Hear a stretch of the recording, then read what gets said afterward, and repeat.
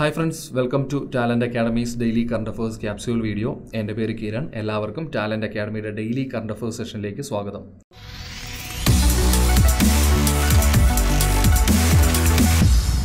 നമുക്കിന്നത്തെ discussion ആരംഭിക്കാം. ആദ്യം നമ്മൾ ഡിസ്കസ് ചെയ്യുന്നത് സ്കാൻഡിനേവിയൻ രാജ്യമായ ഡെൻമാർക്കിനെ പറ്റിയാണ്. ഊർജ മേഖലയിലെ വികസനവുമായി ബന്ധപ്പെട്ട ഇന്ത്യയുമായിട്ട് ധാരണയിലേർപ്പെട്ട രാജ്യമാണ് ഡെൻമാർക്ക്. അപ്പോൾ മറന്നുകൊണ്ട ഊർജ മേഖലയിൽ റീസെന്റായിട്ട് ഇന്ത്യയുമായിട്ട് കരാറിൽ ഏർപ്പെട്ട രാജ്യമാണ് ഡെൻമാർക്ക്. അപ്പോൾ റിലേറ്റഡ് കാര്യങ്ങൾ കൂടെ നോക്കുക. ഡെൻമാർക്കിനെ പറ്റിയുള്ള. ഡെൻമാർക്കിന്റെ ക്യാപിറ്റൽ കോപ്പൻ ഹാഗനാണ് ഡെൻമാർക്കിന്റെ കറൻസി ഡാനിഷ് ക്രോൺ ആണ്. അതുപോലെ ഡെൻമാർക്കിന്റെ പ്രധാനമന്ത്രി മെറ്റെ ഫ്രെഡറിക്സൺ ആണ്. അപ്പോൾ ഊർജ മേഖലയിൽ ഇന്ത്യയുമായിട്ട് കരാറിലേർപ്പെട്ട യൂറോപ്യൻ രാജ്യം ഡെൻമാർക്കാണ് അടുത്ത് ഡിസ്കസ് ചെയ്യുന്നത് യുണൈറ്റഡ് സ്റ്റേറ്റ്സ് ഓഫ് അമേരിക്കയിൽ റീസെന്റായിട്ട് വീശിയടിച്ച ചുഴലിക്കാറ്റിനെ പറ്റിയാണ്. അതിന്റെ പേര് ക്രിസ്റ്റോബാൾ എന്നാണ്.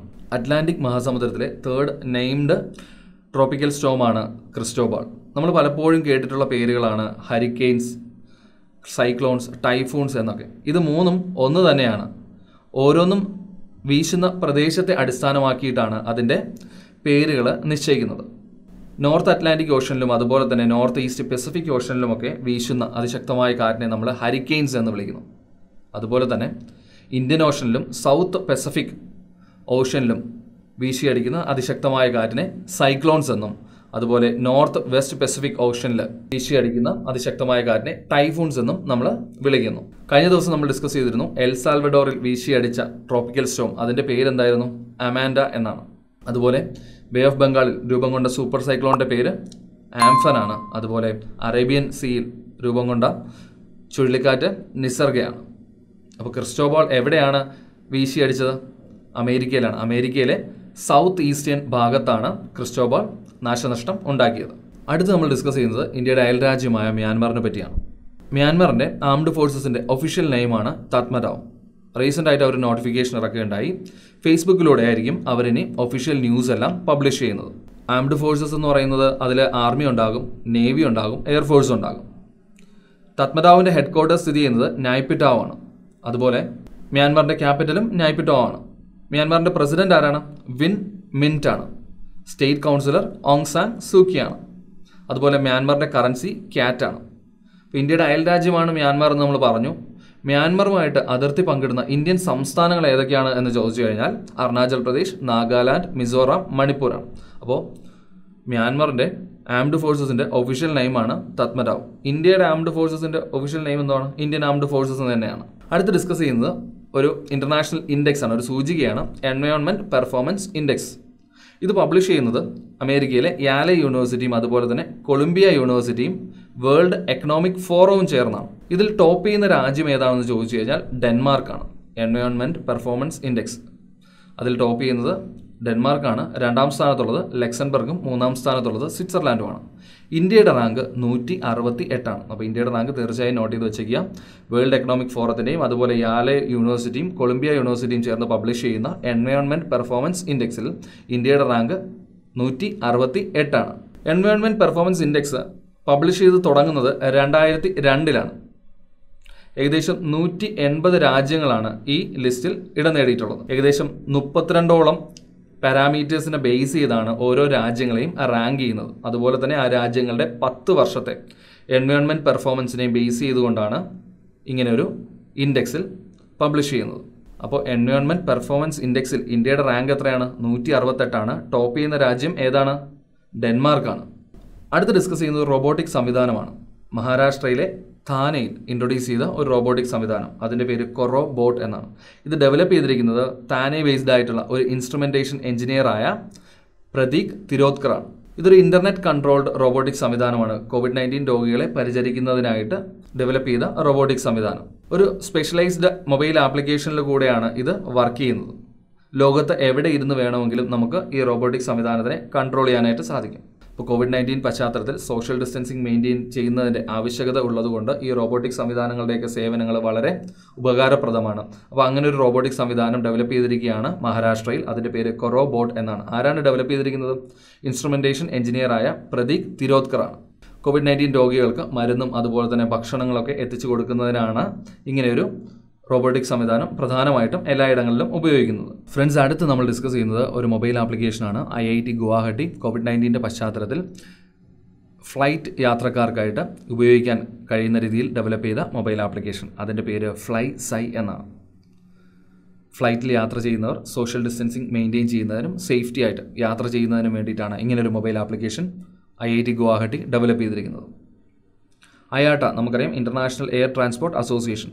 അയാട്ടയുടെ മാനദണ്ഡങ്ങൾ പ്രകാരം തന്നെയാണ് ഇങ്ങനെ ഒരു മൊബൈൽ ആപ്ലിക്കേഷൻ ഡെവലപ്പ് ചെയ്തിരിക്കുന്നത്. ഇപ്പോൾ യാത്രക്കാർക്ക് കോൺടാക്ട്ലെസ് ലഗേജ് ലോഡിംഗ് അപ്പും അതുപോലെ സോഷ്യൽ ഡിസ്റ്റൻസിങ് മെയിന്റെയിൻ ചെയ്യാനും ഒരു ബെറ്ററായിട്ട് സോഷ്യൽ ഡിസ്റ്റൻസിങ് മെയിന്റെയിൻ ചെയ്തുകൊണ്ട് തന്നെ ഷോപ്പിംഗ് ഒക്കെ നടത്താൻ കഴിയുന്ന രീതിയിലാണ് ഇങ്ങനെ ഒരു മൊബൈൽ ആപ്ലിക്കേഷൻ ഡെവലപ്പ് ചെയ്തിരിക്കുന്നത്. അപ്പോൾ ഫ്ലൈസൈ ഡെവലപ്പ് ചെയ്തിരിക്കുന്നത് ഐ ഐ ടി ഗുവാഹട്ടിയാണ്. ഐ ഐ ടിയെ പറ്റി നമ്മൾ പറഞ്ഞു. International air transport association. നിലവിൽ വന്നത് ആയിരത്തി തൊള്ളായിരത്തി നാൽപ്പത്തഞ്ചിലാണ് അയാട്ടയുടെ ഹെഡ്ക്വാർട്ടേഴ്സ് സ്ഥിതി ചെയ്യുന്നത് കാനഡയിലെ മോൺട്രിയലിലാണ്. അയാട്ടയുടെ നിലവിലെ ഡയറക്ടർ ജനറൽ ആൻഡ് സിഇഒ ആയിട്ടുള്ള വ്യക്തി അലക്സാണ്ടർ ഡേ ജൂനിയാക്കാണ്. അപ്പോൾ ഫ്ലൈസൈ ഡെവലപ്പ് ചെയ്തിരിക്കുന്നത് ഐ ഐ ടി ഗുവാഹട്ടിയാണ്. അടുത്ത് ഡിസ്കസ് ചെയ്യുന്നത് ഫിനാൻസ് മിനിസ്ട്രിയുടെ കീഴിലുള്ള central board of indirects taxes and customs launch ചെയ്ത ഒരു പരിപാടിയാണ്. അതിന്റെ പേര് തുരന്ത് കസ്റ്റംസ് എന്നാണ്. ഇറക്കുമതി ചെയ്യുന്ന വസ്തുക്കളുടെ കസ്റ്റംസ് ക്ലിയറൻസ് വേഗത്തിലാക്കുന്നതിനായിട്ട് ലോഞ്ച് ചെയ്ത പരിപാടിയാണ് തുരന്ത് കസ്റ്റംസ് നമുക്കറിയാം കഴിഞ്ഞ വർഷത്തെ വേൾഡ് ബാങ്കിന്റെ ഈസ് ഓഫ് ഡൂയിങ് ബിസിനസ്സിൽ ട്രേഡിംഗ് അക്രോസ് ബോർഡേഴ്സ് കാറ്റഗറിയിൽ ഇന്ത്യയുടെ റാങ്ക് എൺപതായിരുന്നു. ഇതിന് മുന്നിലത്തെ വർഷത്തിൽ ഇന്ത്യയുടെ റാങ്ക് നൂറ്റി നാൽപ്പത്തി ആറായിരുന്നു അപ്പോൾ ഇന്ത്യയുടെ റാങ്ക് മെച്ചപ്പെട്ട് വരികയാണ്. ഇതുപോലുള്ള പ്രോഗ്രാംസൊക്കെ നടത്തുന്നത് വഴിയാണ് അന്താരാഷ്ട്ര തലത്തിലുള്ള ട്രേഡ് എക്സ്ചേഞ്ചൊക്കെ കൂടുതൽ ഇമ്പ്രൂവ് ചെയ്യാനായിട്ട് സാധിക്കുന്നത്. ഇപ്പോൾ തുരന്ത് കസ്റ്റംസ് ലോഞ്ച് ചെയ്തിരിക്കുന്നത് central board of indirect taxes and customs ആണ്. ഇറക്കുമതി ചെയ്യുന്ന വസ്തുക്കളുടെ കസ്റ്റംസ് ക്ലിയറൻസ് വേഗത്തിലാക്കുന്നതിനായിട്ട് ആരംഭിച്ച പരിപാടിയാണ് Turant customs C B I C central board of indirect taxes and customs നിലവിൽ വന്നത് ആയിരത്തി തൊള്ളായിരത്തി അറുപത്തിനാലിലാണ് ഫിനാൻസ് മന്ത്രാലയത്തിന് കീഴിലാണ് ഇത് നിലനിൽക്കുന്നത്. നമ്മുടെ ഫിനാൻസ് മിനിസ്റ്റർ ആരാണ്? ശ്രീമതി നിർമ്മല സീതാരാമനാണ്. അതുപോലെ സി ബി ഐ സിയുടെ ചെയർപേഴ്സൺ ആയിട്ടുള്ള വ്യക്തി എം അജിത് കുമാറാണ്. അടുത്ത് ഡിസ്കസ് ചെയ്യുന്നത് കോവിഡ് നയന്റീന്റെ പശ്ചാത്തലത്തിൽ രോഗികളുടെ ഫിസിയോളജിക്കൽ പാരാമീറ്റേഴ്സ് ചെക്ക് ചെയ്യുന്നതിനായിട്ട് ഒരു വയർലെസ് സംവിധാനം ഡെവലപ്പ് ചെയ്തിരിക്കുകയാണ്. അതിന്റെ പേര് കോവിഡ് ബീപ്പ് എന്നാണ്. ഇതിന്റെ full form continuous oxygenation and vital information detection biomed E C I L E S I C pod എന്നാണ്. ഇത് ഡെവലപ്പ് ചെയ്തിരിക്കുന്നത് ഹൈദരാബാദിലെ E S I C medical കോളേജും അതുപോലെ തന്നെ ഐ ഐ ടി ഹൈദരാബാദും ഡിപ്പാർട്ട്മെന്റ് ഓഫ് അറ്റോമിക് എനർജിയും ചേർന്നാണ്.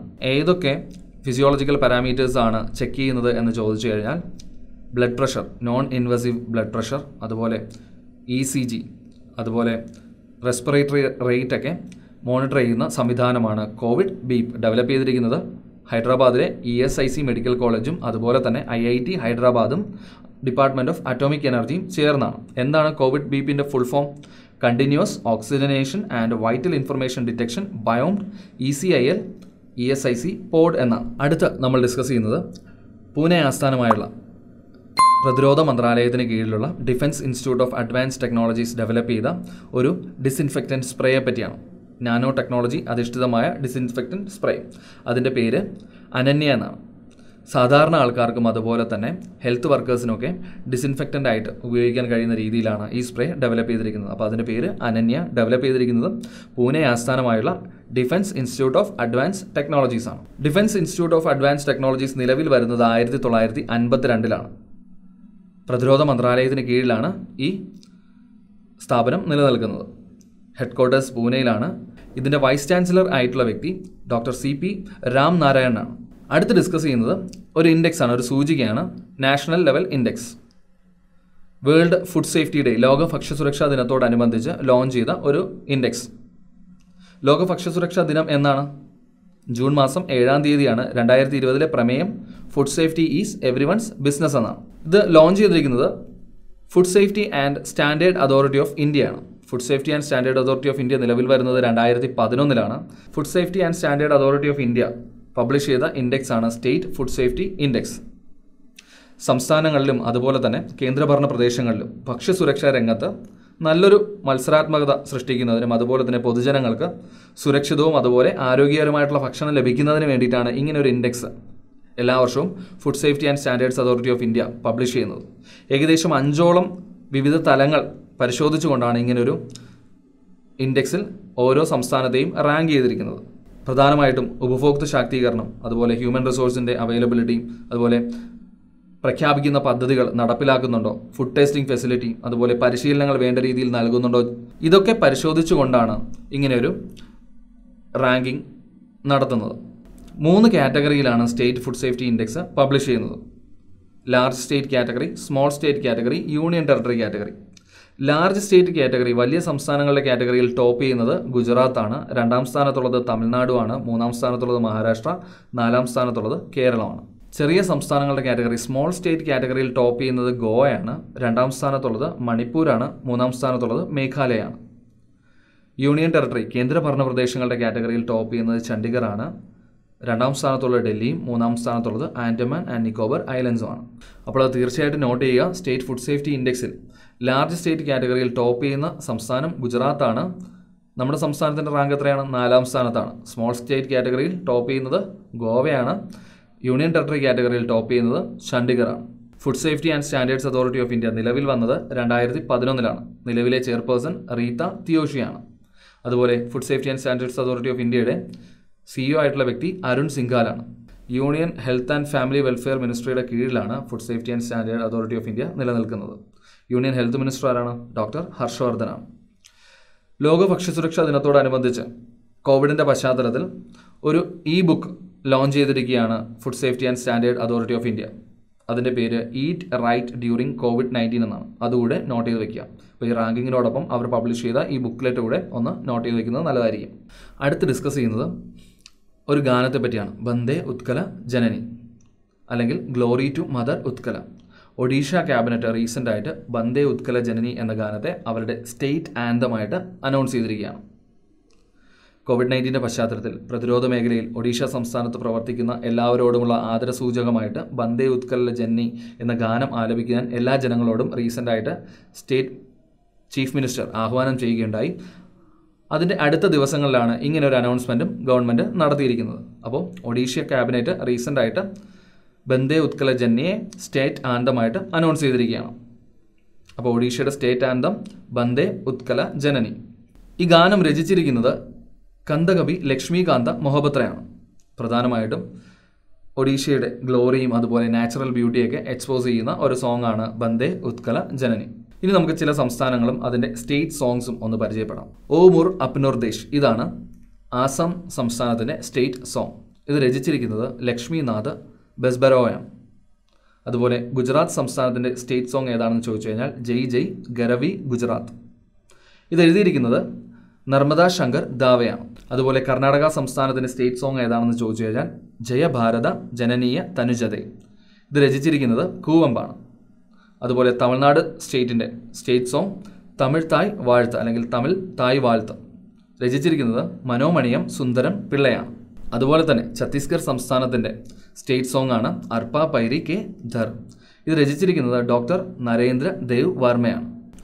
അടുത്ത് നമ്മൾ ഡിസ്കസ് ചെയ്യുന്നത് കോവിഡ് നയന്റീന്റെ പശ്ചാത്തലത്തിൽ പി പി കിറ്റ് ഉപയോഗിക്കുന്ന ഹെൽത്ത് വർക്കേഴ്സിന് ആരോഗ്യ പ്രവർത്തകർക്ക് ഒരു ആശ്വാസമാകുന്ന രീതിയിൽ ഒരു എയർ സർക്കുലേഷൻ സിസ്റ്റം ഡെവലപ്പ് ചെയ്തിരിക്കുകയാണ് ഡി ആർ ഡി ഒ അതിന്റെ പേര് സമേറു പാക്സ് എന്നാണ്. സാധാരണ ഒരു പി പി കിറ്റ് ഉപയോഗിച്ച് അരമണിക്കൂർ ആകും മുമ്പ് തന്നെ നമ്മുടെ ശരീരം വിയർക്കാൻ തുടങ്ങും. അപ്പോൾ ഈ അവസരത്തിൽ ഇതിനുള്ളിൽ പി പി കിറ്റിനുള്ളിൽ ഒരു എയർ സർക്കുലേഷൻ കിറ്റ് ഡെവലപ്പ് ചെയ്തിരിക്കുകയാണ് ഡി ആർ ഡി ഒ അതിന്റെ പേരാണ് സമേറു പാക്സ്. ഒരു ബാക്ക് പാക്ക് അഞ്ഞൂറ് ഗ്രാം വെയിറ്റുള്ള ഒരു ബാക്ക് പാക്ക് ആയിട്ടാണ് ഈ എയർ സർക്കുലേഷൻ സിസ്റ്റം ഡെവലപ്പ് ചെയ്തിരിക്കുന്നത്. അങ്ങനെ സ്വെറ്റിംഗ് ഒഴിവാക്കാൻ കഴിയും എന്ന് ഡി ആർ ഡി ഒ കരുതുന്നു.